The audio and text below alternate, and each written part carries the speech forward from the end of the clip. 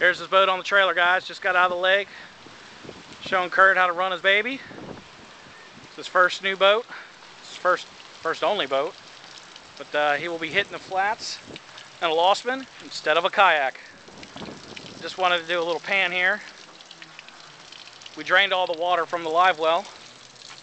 We just pulled out. It's a lot better than going into the bilge like some of the other builders out there. It goes right out, out of the boat. So again,